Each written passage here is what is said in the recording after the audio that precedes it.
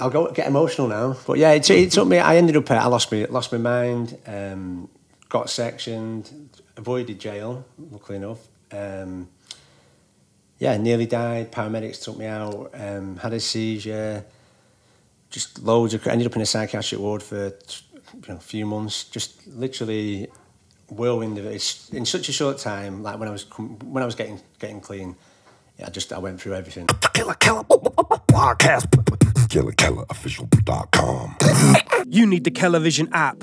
24 7 mini documentaries, podcasts, live shows, DJ live streams, top fives, subscription packages, plus products for all your podcasts and street culture sports. Download it from the App Store for free today. Instagram UK Frontline. Beatbox created. Killa Kela. And we're here to talk about world music and street culture. Killa Kela Podcast. after the races.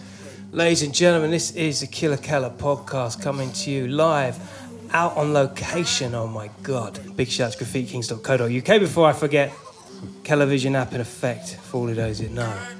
We're going to the north, we're going deep north, to the, the, the Vegas of Britain, or some would like to think, knowing full well, however, that the undertones of, uh, of, of what really goes down in amongst these environments, two very different worlds. And one that really, really encapsulates that and personifies that is with a good friend of mine, graffiti writer. Allow me to introduce to you Seca One inside the place. How are you, my brother? Ain't bad. How's it I'm good. Good. good. Thanks. Good to be here. Yeah, it's good to be good to be back. I mean, back for the first time, I might add. Back for the first time. Yeah. we won't go. We won't go into too much again. Let's get that up there. We want to hear every nuance and what you got to say. How you been? You been alright? yeah, been good. Tired today. Painted a festival over the weekend, so straight back through the night and then straight into here. So yeah. Just on it, on, it. So for those of you who don't know, graffiti writer extraordinaire, visual artist, spray can artist, street artist, very versatile in his field. Seca One came up from a very early time in hip hop and graffiti and has transcended with one hell of a fucking story. And it's one that I really, really want us to get into because I think it mirrors, bro, I think it mirrors a lot of what people have gone through in their lives, particularly Yeah. when it comes to idle time and the creative space that people have inside their heads. Wouldn't you agree? Yeah, it's kind of like it's a bit of a crazy one, especially from from like um from an outside on the outside looking in. So I'm kind of used to telling the story now, but yeah, it's, it could be a bit of a shocker. It all started with graph, though, didn't it? Back in the day. Yeah, yeah, that was the interest. That was the um, back in the day going down, going down the, the local tracks and seeing some some of the pieces down there, and wondering where it all come from, how it arrived there, you know, through the night, and then uh, that's how I started. Started. That's how I got into it. Started painting. So, what age was this? How old were you at this time? I think I was about twelve, maybe. That sways three years because I can't really remember. but yeah, I think about twelve, and I went down there. Came across this, as I've said to you before. It's like it was like Disney World. It was like these characters and all this writing, this bright writing, and I was I was like hooked straight away. And then um, found out about the book, Spray Can Art. Hold tight, spray can up, you know it, dude. That was it. Subway Art, and then and that was it. That was the Bible for the next five years. It's a running, it's a running gift that comes up every single episode on like Killa Kela podcast. It always feels like the DNA of everything that every writer does. It, it literally is those two books, man. Yeah, yeah, it was. It has a lot, lot to answer for. Yeah, in a, in a in a good way. Yeah, it was back in the library, borrowing it from the library and extended loans like twenty years later. yeah, yeah, exactly. Still got the one. Yeah, exactly. Um, what was the scene like in Blackpool back in the day? Uh, well, uh, when I was painting, there was there was no one. There was just me. Um, Which is bonkers when you think about the, the lineage of how far graph goes now. or I thought it was just me. Because I think I, when did I, I stopped painting about sixteen. Um, so I was do- I was only doing it for a couple of years. Like, so I did, I did like well thirteen to sixteen youth clubs, um, bridge. You know, you earn your earn your stripes kind of thing. Yeah. But I got to a point where there was no I couldn't find anyone painting. Everyone was so so elusive at the time. Um, there were some amazing pieces coming up, but I, I was I wasn't clued up on where they were coming from, who was doing them, so I couldn't kind of progress. So I was literally standard caps, just doing what you what you do, bubble letters. Um, yeah, I, I couldn't progress, so I got I got a bit frustrated with it, so I kind of I kind of stopped for a while. Do you think that would be the case with a lot of these? Because, like I said at the start, for those from uh, outside the UK, Blackpool is predominantly tourist heavy.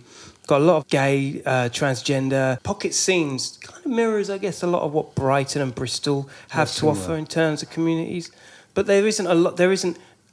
Correct me if I'm wrong. There isn't a, a huge um, focus on art as a whole outside of music here, right? There's definitely a lot of things like sizzling, simmering, simmering. that's the Mm, simmering. word. Yeah, simmering. Um, there's a, there's a few places like the Hive, the Hive Cafe, like as for artists as a, as a community.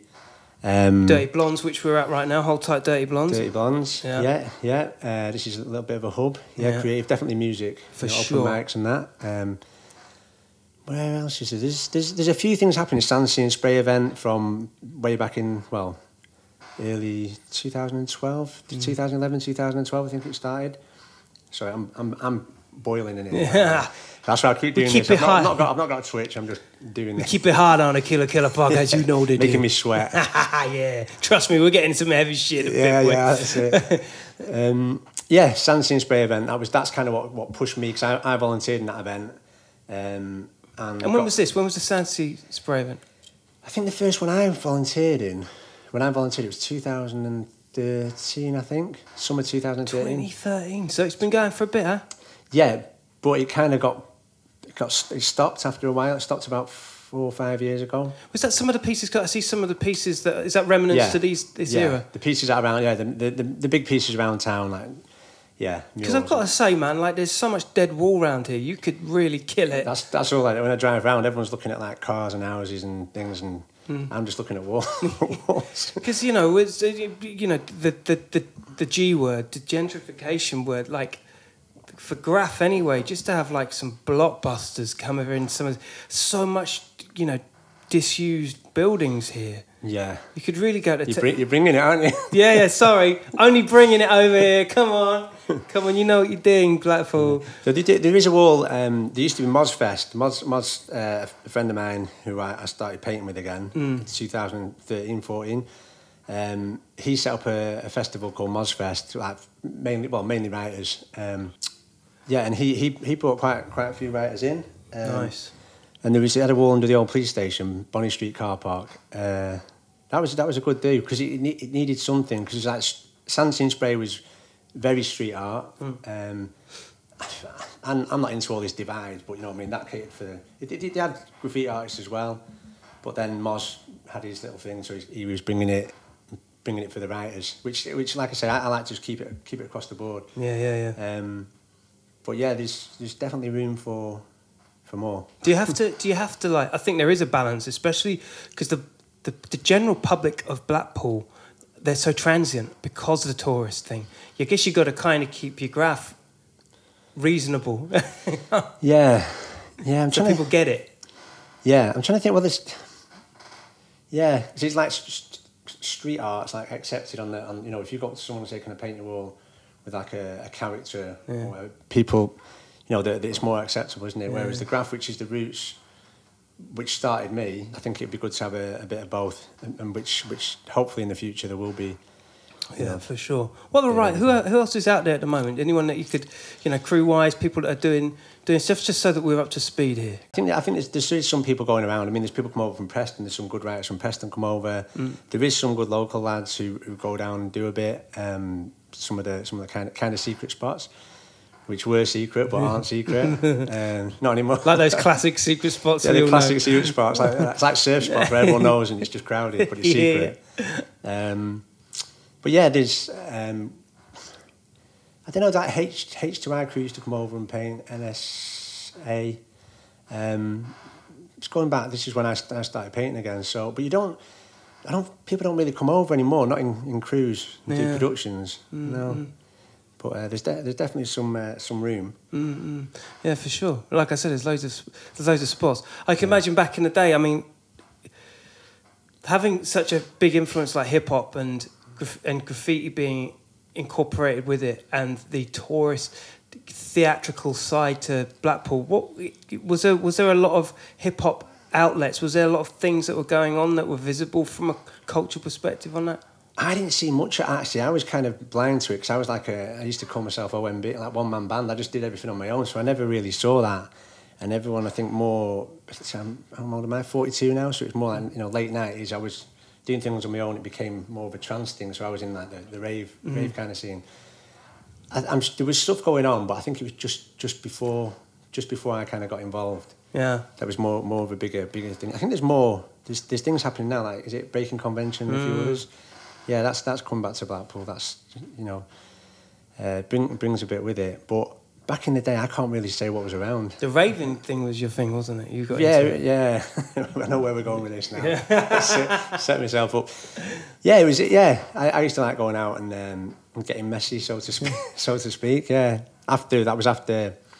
Obviously, I was painting, and I, then I discovered the club scene. So things took a took a, bit of a turn. So classic, man. Like everyone says that there's this there's this sweet spot where it goes from like, yeah, I'm a graph writer, and then all of a sudden, rave comes around, and it's like all of a sudden the cans get dropped, and now I'm like raving, it's all about the music. Yeah. and the yeah. girls, and Okay, yeah, yeah, yeah, that's it. And it was, and it, yeah, it became a, a thing. Then suddenly you've got no time because your weekends are all, Yeah. are all done that. You go from like painting new clubs to just to just getting messy in nightclubs for like for many, isn't it? Yeah, yeah, yeah. Everyone kind of across the board.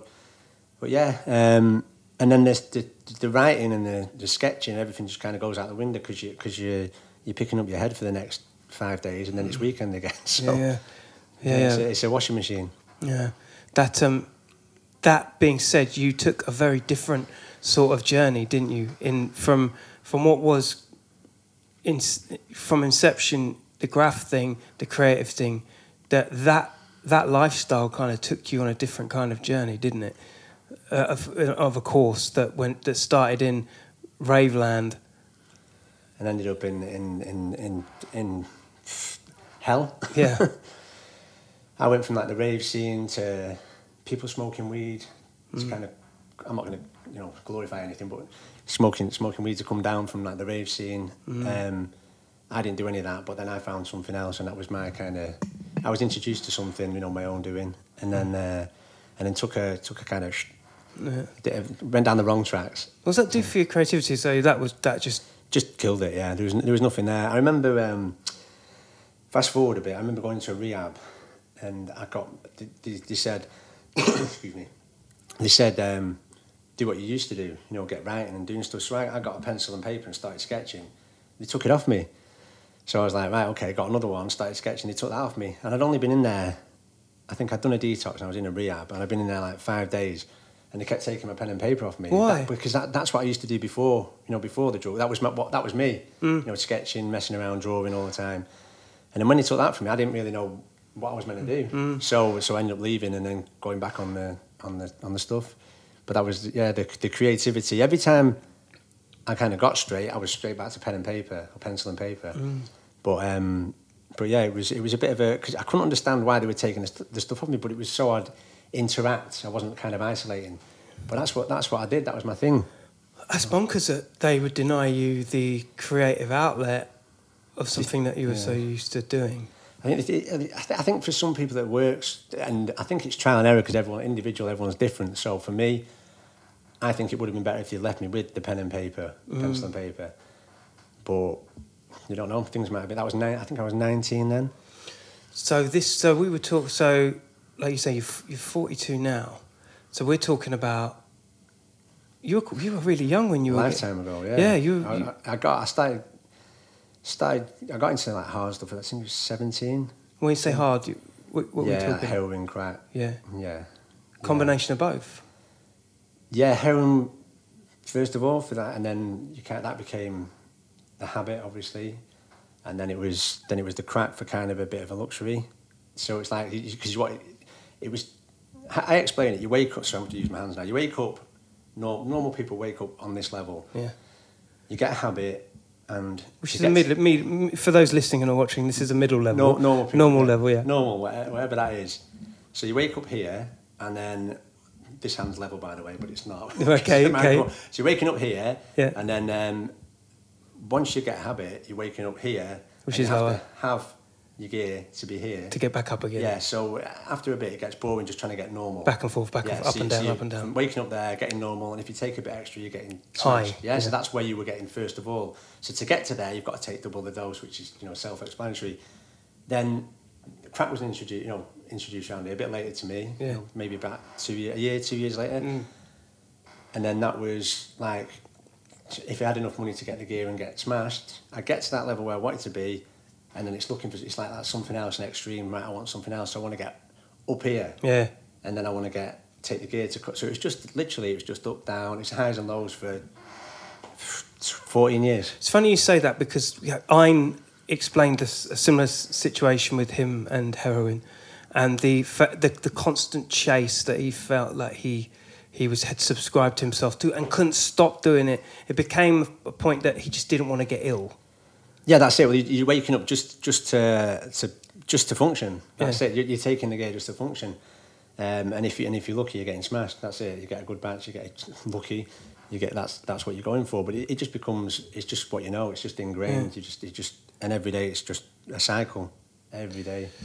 With Blackpool, and this is only from an observer's point of view, you understand, and big up all my Blackpool crew, um, because, because I know this is this this this comes from a position that is very much outside of the social bubble, but on the surface, coming to a place like this, it's almost like the main strip by the sea. The Golden Mile. The Golden Mile is lovely.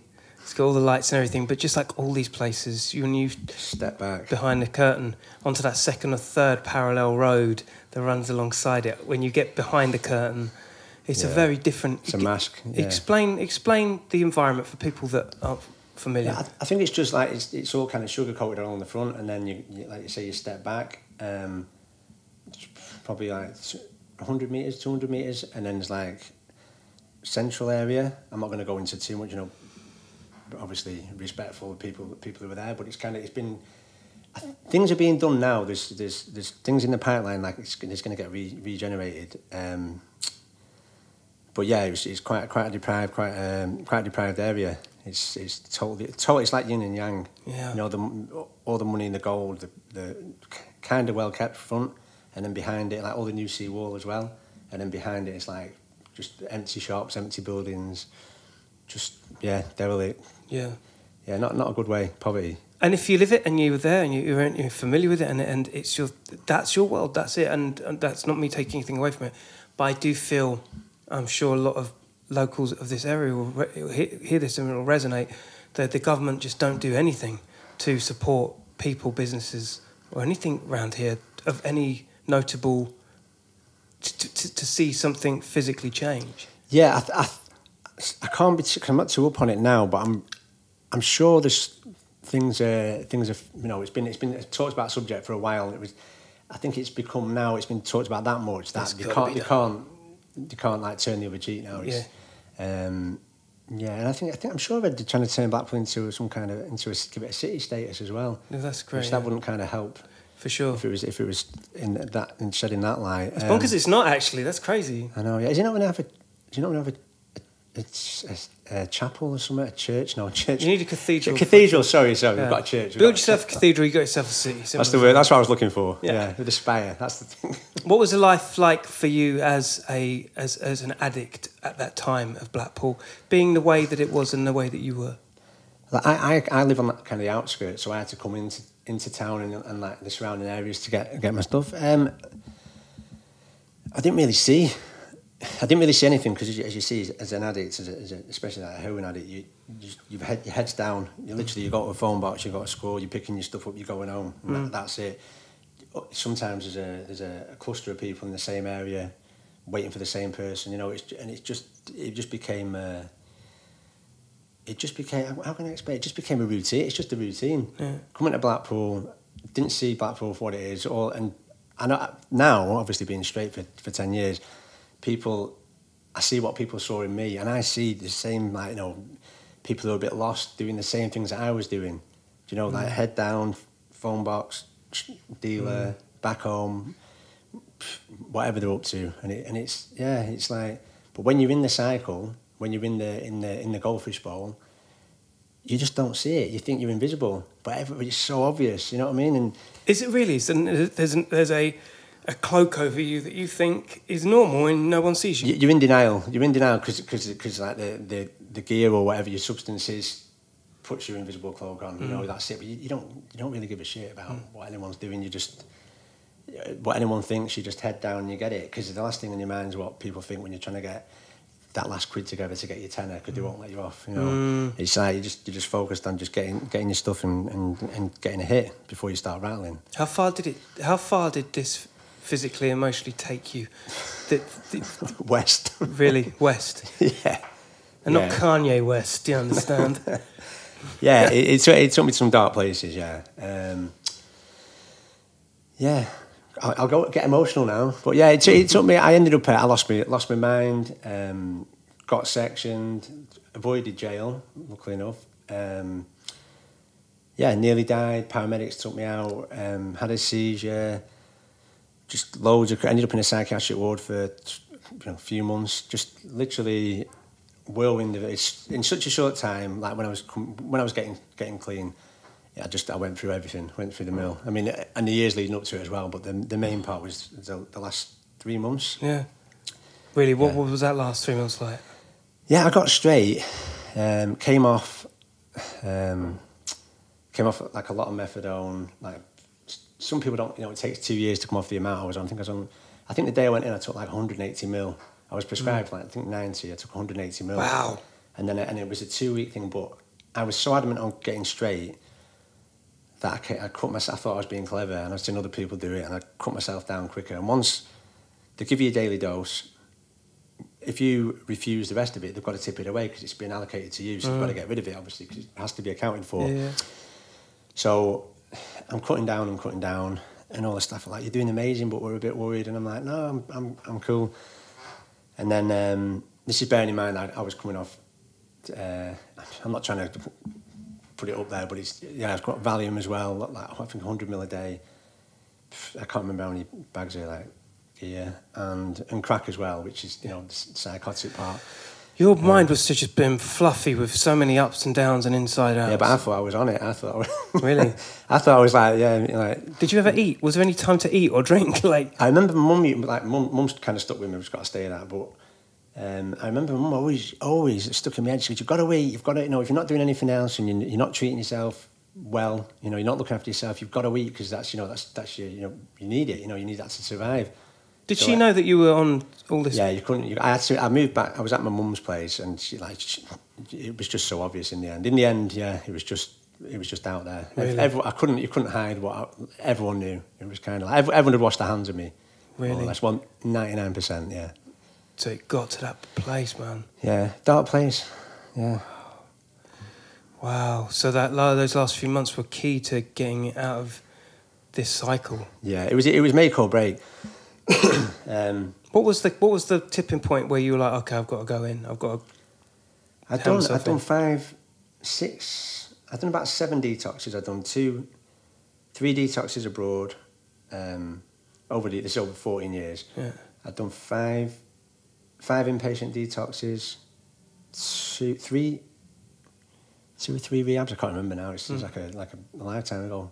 Two two rehabs, and um, I, everything I learned, I learned in a place in a place in Lancaster in a, in a rehab. Even though I'm messed up, that was two thousand and seven, two thousand and eight, I think it was, and I did. Um, I think I did nine months in there. Nine. I think it was nine months, yeah.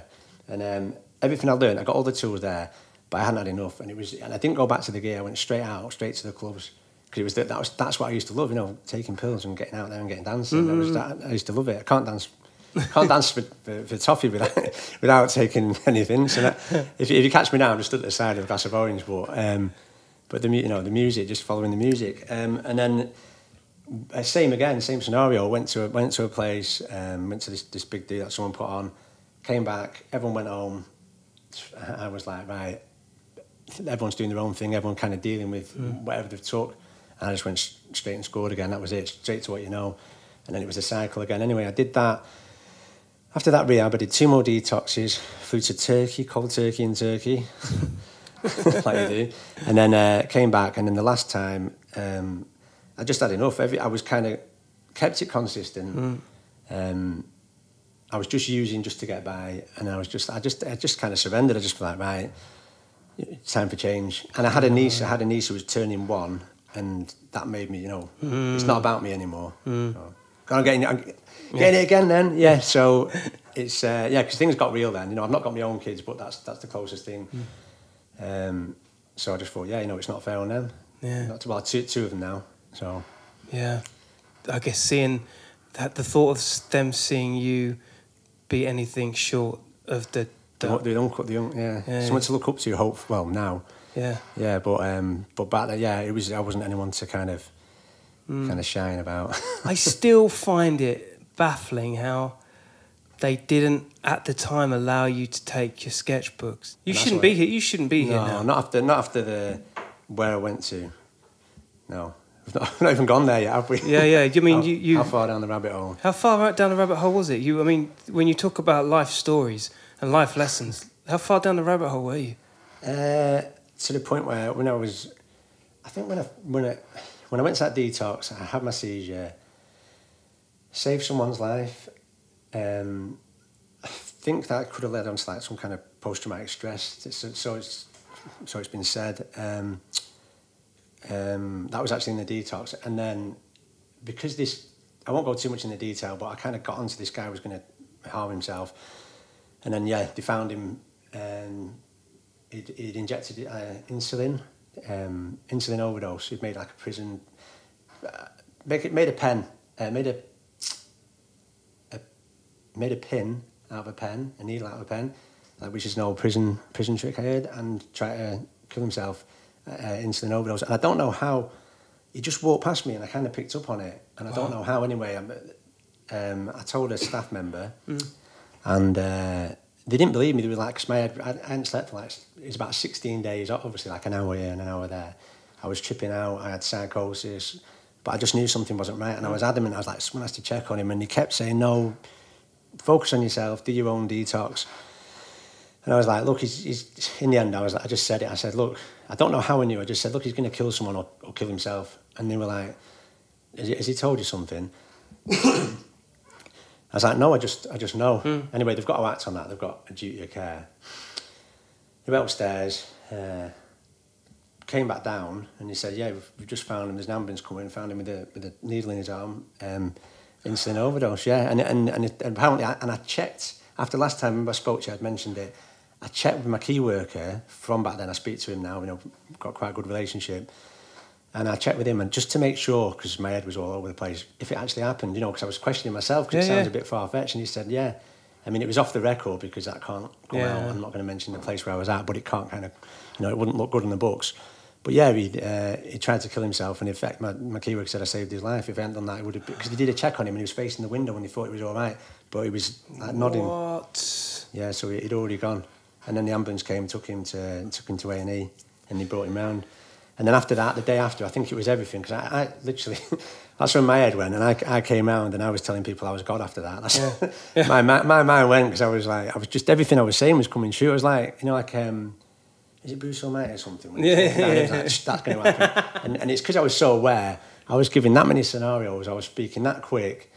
Every scenario was happening because it was because it couldn't not because I was just pointing out the obvious. You know, I was watching TV. It was like natural disasters, and I was like, "Come in here and watch this," and the staff are coming in. I'm like, "Watch what's going to happen. Watch what's going to happen." And there was, I said, "Something bad's going to happen here." And the film's called. I'm not, I'm not going to say that, but it's called Natural Disasters. Yeah. I mean, the, the, the documentary, and then there's a landslide, and I was like, "See, I told you, I knew that was going to happen." Yeah, yeah, like- It's pre-recorded like 15 years earlier, and I'm, I'm like, "See, oh." Yeah, yeah, yeah. Them one is called natural disasters. Like you watch something's going wrong. Yeah, Yeah, but I thought it was just me. Oh, yeah, yeah. It, was, it was just me. But there was loads of weird stuff happened, um, like predictions and things, and then it's like synchronicity. And then this is the path which led me to literally lose my marbles. And um, I had my seizure, um, got took to the hospital. I remember walking through the hospital and all the staff, I've said this to you earlier as well, there's all the staff were there, um, all the nurses in the, in the blue uniforms. And I was walking down the corridor, and I, bear in mind, I had I sliced my head open. Head had been sliced open here where they found me and had a seizure. Um, I was covered in blood. I had like Jesus creeper, like flip flop sandals on, mm-hmm, like mm-hmm. woven kind of random ones. just in my boxer shorts and a long dressing gown and my hood up. And I was skinny as any, I was like 11 stone too. I'm like nearly 17 stone now, so you can imagine. And I was walking through, and then all these the nurses started parting like that. And me thinking I was God, I, I thought it was Jesus then. I thought it was the parting of the sea. And I was walking down, I'm like, oh, I was thinking they're all doing this for me. And I was, Oh my God. I remember seeing a psychiatrist, so I'm going down the rabbit hole Yeah. now. I remember seeing a psychiatrist and they were saying, So who are you? And I'm like, um, and I saw my key worker saying, Go on, tell them. And I'm thinking to myself, Do you know, can you hear what I'm thinking? And, I, and I remember him looking at me and smiling, so I'm thinking, Shit, you can hear what I'm thinking. So I'm saying, Right, I'm going to tell him. And he goes, Go on, go on, be truthful with him. And I'm like, I'm God. And the, the one went, She was like, the psychiatrist said, see, see you're God. And I was like, and I looked at him and he was like, shaking his head. And I was like, no, no, I'm not God, I'm, I'm Christian. And then they were like, and then, and then they were, and then, because I was trying to, I was kind of playing them, but I thought that they actually, they knew I was God. I thought I was God. He, just gets, he gets like really, really kind of twisted. But yeah, uh, I thought they were playing mind games with me, but literally I was going mad. Wow. So it was, yeah, it was, it was, it was a, a weird situation. Anyway, I actually got out of that one. Um, managed to blag it. Um, told them I was really who I am, my real name. Yeah. Got out of there, and then I think that's the night I went to. to I'm not going to go down that story. That's a bit. that's for another time. That it's a bit, a bit, a bit of a long one. But yeah, after that, I got sent home, and then um, went back to the detox. Uh, spent a few nights in the hospital. Went back to Blackpool um, on the train with the key worker. He had had enough of me, but as soon as he dropped me off at the station, he just got on the train. He walked around and got straight on the next one and sent me packing like my mum was Wow. there. Um, went to Blackpool Vic. Um, got took in there, intensive care. I was in intensive care. I think I was for a night, and then they sent me home, and then they took me back in, and then I went into voluntarily went into the the psychiatric ward, and then that was it. Then I thought I was got. I thought they were undercover coppers in there. I thought it was just some kind of mad mad kind of game, and then yeah, the rest history. I was in and out, high secure units and all sorts, all sorts of stuff. Yeah, it was a bit of a roller coaster, a bit of a wild time. Was that the last three years then? That became the last three years? No, it was, it was th- it, was literally that was three months. That was three months from going to the detox to coming out the psychiatric ward. Right. It was three. It was a three month spell, but I wouldn't wish it on anyone. It was Really? the, the horriblest. Like literally, when you're in there. Um, yeah, I stopped all the medication. Like they put me on a really high secure unit in it's Southport, Ormskirk, and uh, and I, did, I refused the medication. And when you're in there, you're kind of a statistic. Um, they just want to. Well, I feel they want to just uh, kind of sedate you, and then they just they can just leave you. The job's done. they tried to give me, um, what was it Valium, Valium and nitrazepam, and uh, and I'd just come off. I was like, even though I didn't have my head properly, I was like, I've just come off like loads of that, and I, you know I'm not going down that path. Even though I wasn't right in the head, I knew I wasn't going back to drugs. Hmm. So I refused it. They, they gave me this antipsychotic. They gave me they gave me olanzapine, I think it was called, quetiapine. There was loads of others, and it was like they're trialing me on all these things, and literally it had a, a, a it counteracted with me because I wasn't actually mad. I was just going through like some psychosis, hmm. coming off of drugs, and it sent me proper radio. Really? Yeah, and then, uh, but anyway, I, re- I got I somehow managed to find find it in myself to, to refuse the meds. And they were saying, right, you're gonna you're gonna refuse. You're gonna you, you know we're gonna have to tell the doctor. And I was like, well, tell the doctor. I said, let me see what I'm taking. This is me still being crazy, by the way. I kind of knew I wasn't going to be taking stuff. And they showed me the tablets. Uh, sorry, they, they went to show me, and they said, "Oh, we've not got a box." I was like, "Well, unless you show me what I'm taking, I'm not taking it. I'm not taking. You know, I'm not stupid." Yeah, and yeah. like, "Well, you're going to refuse," and they were trying to make it like it was a bad thing. I was like, "Well, what are you going to do? I'm in, I'm in like the nut house. You know, what's the worst thing that can happen? This is like my worst fear." Anyway, the, uh, they said, "Right, we're going to mark you down as refused." So, I think the third day refusing, my head started getting clearer, and then they moved me from the the PICU, which was like the, the high secure, I think it was called the PICU back there, to the SIPU, which is like a mixed, more less intense ward. The, the PICU, by the way, a camera above your bed, from what I remember, a camera at the side of you, no laces in your trainers, shoes outside the door, two items of clothing. Um, in one of the rooms he took me into, they said, "Look, if you misbehave, in here." It's just like a metal, room, like you see in the, on the yeah, TV, yeah, like Hannibal Lecter kind of stuff. There's a metal bed, toilet, metal like metal walls, uh, and glass across the front like a goldfish bowl, and that was it. Wow, wow, wow. And uh, they said, "This if you misbehave, you're in here." Like it was like I'd done something wrong, and I hadn't done anything wrong. I was, I was proper confused to hell. You know, I didn't know. I'd just got to get off drugs, and I was in a psychiatric unit. And I thought it was all the game. I thought it was all, it was Yeah, all yeah, a show because I didn't know what was going on. Anyway, they moved me when I refused the, the meds. After three days, they moved me from the PICU to the SIPU. From there, I still refused the meds. Within a week, they moved me from the, that, that place voluntarily back to Blackpool Vic. I was in Blackpool Vic for two weeks, and then um, they had like a consultation with loads of students uh, and the main the main consultant and a few other like doctors. And the uh, they had a bit of like a um, they had a meeting. They got they called me and they asked me what I think's happened and what I should do. Excuse me. And I said, they, they said, and how I've been treated. And I said, well, to tell you the truth, I said the F word. I said, I, I think you're fucked up on a major scale. And, uh, and I think you should just let the, this is when I had my head had come back together because I stopped taking the medication, which I, I didn't need. Obviously, they don't really know that. Yeah. But um, yeah, so I said, right, I think, I think you fucked up on a major scale. If you just let the drugs get out of my system, um, I would have been all right. You know, you should have let it ride its course. Yeah. Anyway, I, I said my piece and I said, uh, you know, I'm, disappointed how it's gone, but I think I've got my head together now. And then they looked at each other. Bum signed this bit of paper. She looked at me and said, right, you're free to go. Wow. And that was it. That was that. And they, they overturned, from what I believe, they overturned the section. I think it was like a nine, nine or seven month section. And it's quite hard so, I've, so I believe it's hard to get it overturned. And I, I kind of flipped everything on its, on its arse. And then I got out and I never, never took any medication or anything since. They said I was bipolar, I was schizophrenic, I was, and then, uh, and since then, they've. Uh, I actually went for an interview for something I can't remember what it was, and uh, they said you're totally coherent. You, you look us in the eyes when you interview, mm. everything, and they said you, you, you've got no characteristics of anything except, uh, you know, I don't know what the right word is. I'm not using normal, but normal Wow. person. A champion. I'm, Champion. I've been completely spellbound by that whole I'm out of breath story. with it all. Yeah, man. wow, way to go. This is a little life of many lives, and all you can do is be a champion of your your own. Uh, be your own hero, isn't it? You got be your own hero. Hmm. And how's life now? How's life now? Are you are you happy creatively? Are you? Yeah, I love, I love, I love what I do. Yeah, you're fucking big on characters, man. like your detail, the detail is so sick. Hmm. I see it everywhere. Like you've really got it up going in Blackpool, man. That's- What yeah. was the one? There's the, um, it's the it's either it or it's Chucky. Pe- There's, there's a Chucky and a, and a Pennywise. Yeah. Yeah, they're both next next to each other. Yeah, So sick. yeah, on the on the on drummers on the joke shop on the on Central Drive. By the, by the way, Yeah, yeah, yeah. That's why it's good. It's good to paint there actually because I get speaking to pe- you know real people. Yeah. And uh, Central Drive's one of the main kind of roads, isn't it? That's, yeah, yeah, on the, on the way into Blackpool, yeah, it's, Yeah. It's, it's talked about road, but like I say, there's, there's, there's good and bad everywhere. But Mm. there's, like I say, there's a lot of um, there is a lot of drugs around. There's a lot of drugs all over everywhere. Yeah. But around there, you know, I used to see them scoring and painting walls, and they'll, they'll come across, and none none of them know my story. Mm. But then first of all, they'll be standoffish, and then I'll, I'll after a while I get talking to them because what I try and do is. I know I'm painting, but I kind of just want to give them a bit of a, a bit of a torch, a bit of a, a bit of a, a spark to, see a way out. To see a way out, yeah. And then first of all, they're, they're very standoffish and they don't, you know, they don't know what I'm about. They just see me as kind of just a regular, a regular person who doesn't know shit, Mm-hmm. don't know what they're doing.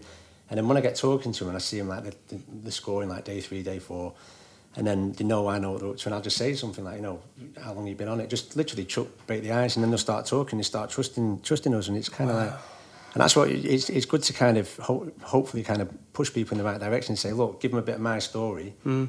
and then um, something to, to kind of hold on to. So it's like, so trying to inspire them to. That's like one of the realest levels of street artistry I've ever fucking heard. The fact that you're talking to, to addicts and people that have gone through the same walk as you, or rather, mm. you've gone through the same walk as them, and you're helping inspire them just by being present and having conversations with them. Yeah, but you don't really. But the thing, I, I kind of realised, I noticed this after because I've done it a few times, you know, especially when I'm painting Blackpool, and uh, and I'll see people. I can't help myself. I've got to say something. It's weird, but it's like not like I won't force myself because I know everyone's very, you know, the trust issues.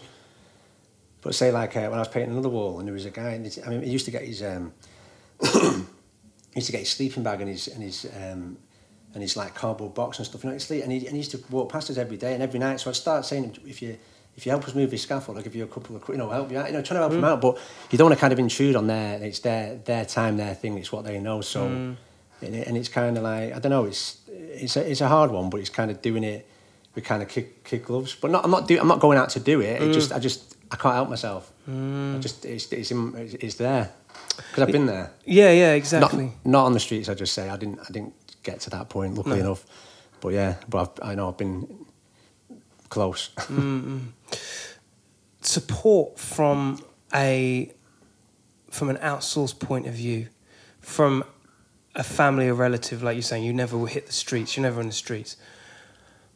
This comes from a certain place that I'm kind of dealing with at the moment in, my- own small way. Like I've, as I said to you um, over dinner, I was like, yeah, like I've I've stopped drinking now. Do you know what I mean? And Every credit, by the way. yeah, thank you, brother. Uh, and you know, it's not it's not an easy thing. There are days where I'm just like anxious.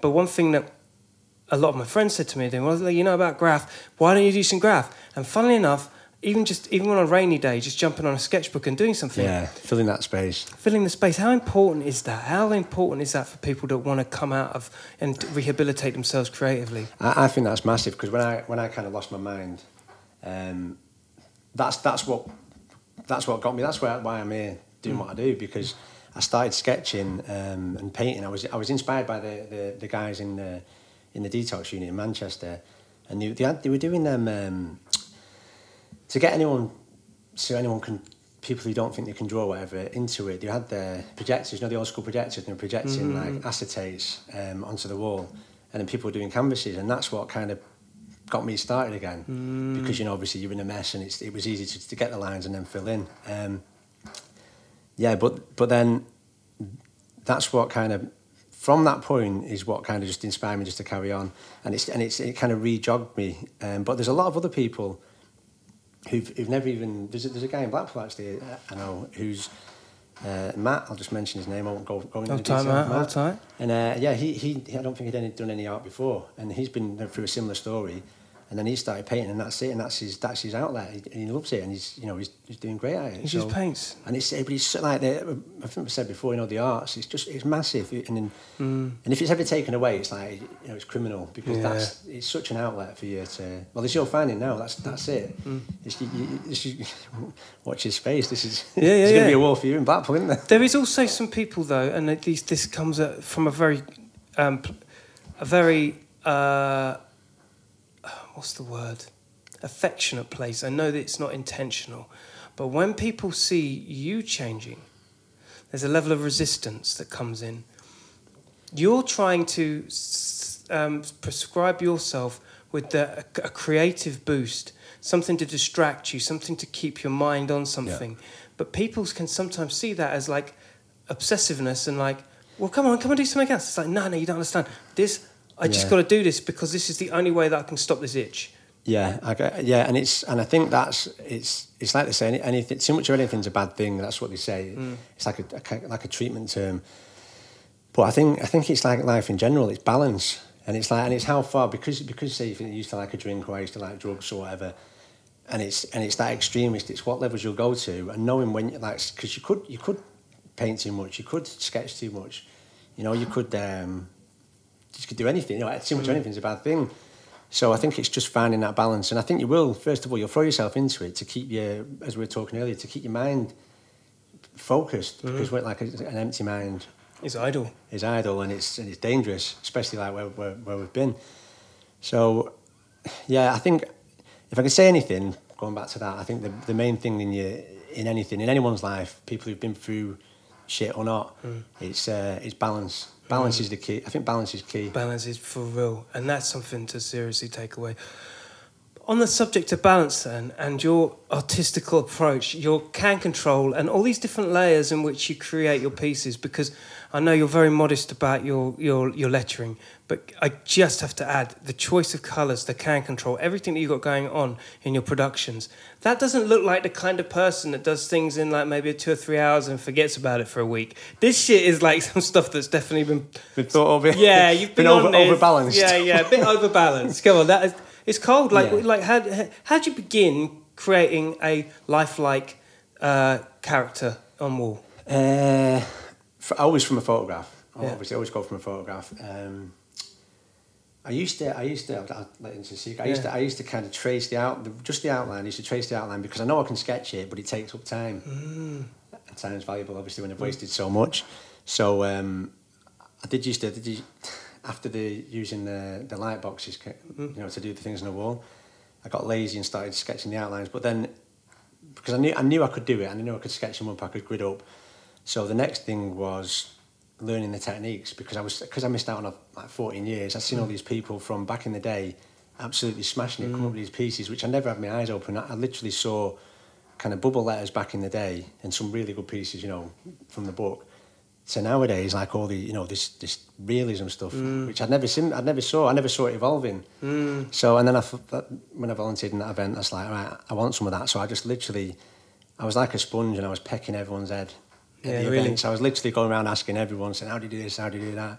Where do you get your cans? Where do you do it? And So it- good, I was yeah. hungry for it because I was thinking, well, I've got nothing else. Mm, yeah. so that's it, and I need something. And I've always had this, but it's almost like a four wheel drive now. It's upgraded. yeah, well, the, well, the passion was, the passion disappeared with the with the drugs, and then and then I volunteered in that event and I got hungry for it, and I really didn't know what I was doing. I just used to, I messed around with stencils as well.